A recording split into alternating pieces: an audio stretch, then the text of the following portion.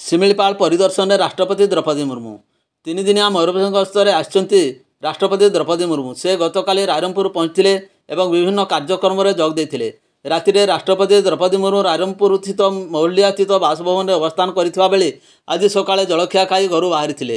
ରାଇରଙ୍ଗପୁରସ୍ଥିତ ବାବା ପୂର୍ଣ୍ଣେଶ୍ୱରା ଶିବ ମନ୍ଦିର ଏବଂ ଶ୍ରୀ ଜଗନ୍ନାଥ ମନ୍ଦିରରେ ପୂଜାର୍ଚ୍ଚନା କରିଥିଲେ। ସେଠାରୁ ପଣ୍ଡିତ ରଘୁନାଥ ମୁର୍ମୁଙ୍କ ଦାଣ୍ଡବସ୍ଥିତ ସମାଧିପୀଠକୁ ଯାଇ ତାଙ୍କର ଶହେ ଉଣେଇଶତମ ଜନ୍ମ ଜୟନ୍ତୀ ଅବସରରେ ଶ୍ରଦ୍ଧାଞ୍ଜଳି ଅର୍ପଣ କରିଥିଲେ। ପରେ ସେ ଦାଣ୍ଡବସ୍ ହେଲିପ୍ୟାଡ୍ରୁ ହେଲିକପ୍ଟର ଯୋଗେ ଯଶପୁର ଅଭିମୁଖେ ବାହାରିଥିଲେ।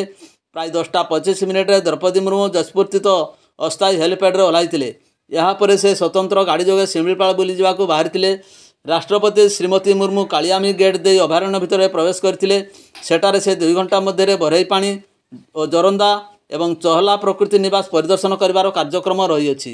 ଉଲ୍ଲେଖଯୋଗ୍ୟ ରାଷ୍ଟ୍ରପତି ଦ୍ରୌପଦୀ ମୁର୍ମୁ ସର୍ବୋଚ୍ଚ ସାମ୍ବିଧାନିକ ପଦରେ ଅଧିଷ୍ଠିତ ହେବା ପରେ ପ୍ରଥମ ଥର ପାଇଁ ଦିନିକିଆ ମୟୂରଭଞ୍ଜ ଗସ୍ତରେ ଆସିଛନ୍ତି ଗୁରୁବାର ଦିନ ଜନ୍ମମାଟି ରାଇରଙ୍ଗପୁରରେ ପହଞ୍ଚିବା ପରେ ତାଙ୍କୁ ଉଚ୍ଛ୍ୱସିତ ସ୍ୱାଗତ କରାଯାଇଥିଲା ରାଷ୍ଟ୍ରପତି ପଶ୍ଚିମବଙ୍ଗ କଲେଇକୁଣ୍ଡାରୁ ସ୍ୱତନ୍ତ୍ର ହେଲିକପ୍ଟର ଯୋଗେ ରାଇରଙ୍ଗପୁର ନିକଟ ହେଲିପ୍ୟାଡ୍ରେ ଓହ୍ଲାଇଥିଲେ ସେଠାରେ ରାଜ୍ୟ ପ୍ରଫେସର ଗଣେଶୀଲାଲ ଓ କେନ୍ଦ୍ରମନ୍ତ୍ରୀ ବିଶେଶ୍ୱର ଟୁଡୁ ରାଷ୍ଟ୍ରପତିଙ୍କୁ ସ୍ୱାଗତ କରିଥିଲେ